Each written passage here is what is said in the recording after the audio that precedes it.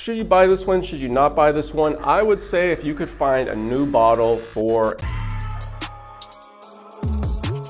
Hey, what's up guys? It's Josh here. Today I want to do a little review on this Abercrombie & Fitch Hot from 2013. Now, most people who really like Abercrombie or the old Abercrombies, they like the Mike Jeffries era. This one is a very interesting fragrance. I like that it's going for a really hot kind of smell. I like that Mike Jeffries made it. I'm just liking everything about it. This fragrance is available a little bit on eBay. I think it's a little bit too expensive in my opinion, but I think it is available for about 110 to 150 I believe right now online. At the end of this video I'll let you know if I think it is worth that price. This was like a, a used bottle. I forget how full it was when I originally got it. I did a review on this fragrance a couple years ago. I ended up not liking the review and I think I just unlisted the video and I was like wow I have no video of me talking about Abercrombie & Fitch Hot because I do really like a lot of little things about this fragrance. So online, there's almost no notes on this one. The notes that they list are cucumber, coconut, amber, and musk. To be honest, the main thing that I get from this is cucumber. It's kind of got a little bit of a full quality, like an objecty kind of quality. It's hard for me to describe, but I really wouldn't say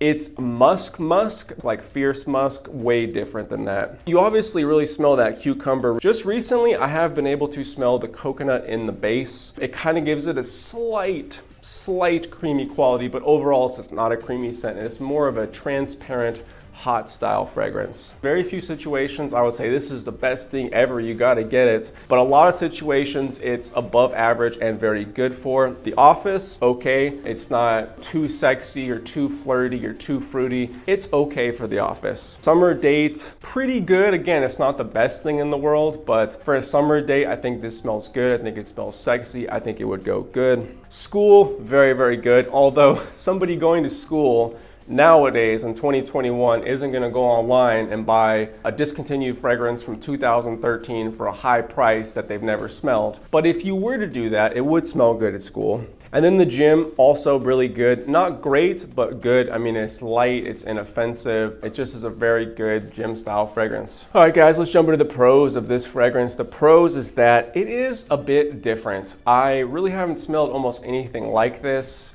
I could kind of see that Abercrombie was trying to make something almost groundbreaking, something very different, something very sexy and likable, and, and all the stuff we like from Abercrombie. It's just very different in a good way.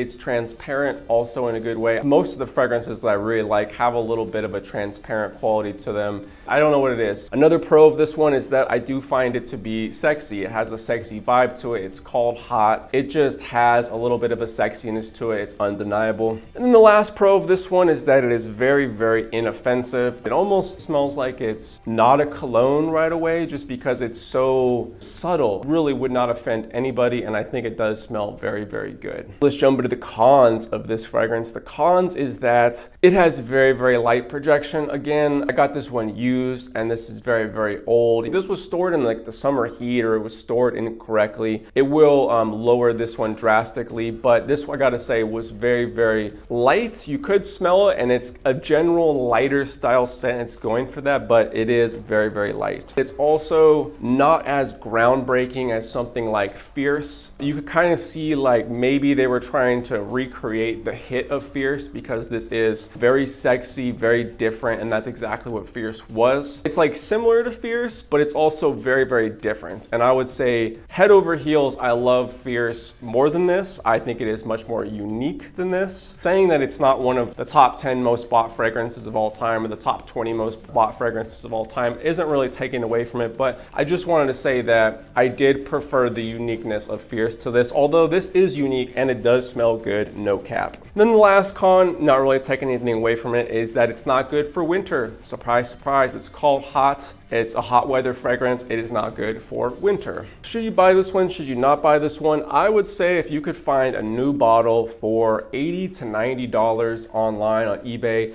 you probably won't. They all kind of group up and so they all kind of have this high price and they all don't want to go lower. But if you were to find it for 80 to $90 brand new, I would say check it out. Again, you may buy that and you may think this is only worth 40 or 50 or maybe even cheaper. I don't know. But I would say 80 $80, $90 brand new is a pretty decent price for this fragrance. This is kind of for that classic Abercrombie fan who appreciates all the old stuff that they did. Smell rating 8 to an 8.5. Very, very solid. Really like this one. It's different, not the best thing I've ever smelled, but I really, really do like it. Likability, 8.5 to a 9. If I had shown this to a few more people and got a few more reactions, this actually might have been higher up, but I would say 8.5 to a 9 is good. It's probably its strongest suit is its likability. And then the longevity and projection, I'm gonna give it a 5 out of 10, but again, I feel like this wasn't stored correctly. I have no proof of that, but I just kind of get that feeling like it wasn't stored correctly. So I could see the normal one lasting a little little bit longer, although this fragrance is a transparent, light, sexy summer scent. Let me know what you think of Abercrombie & Fitch Hot.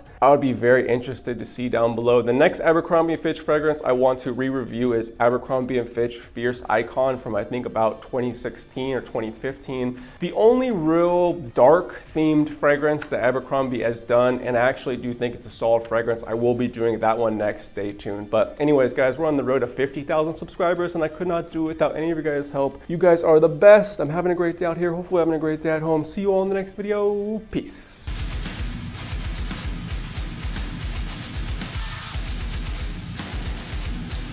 Abercrombie & Fitch Hot from 2013.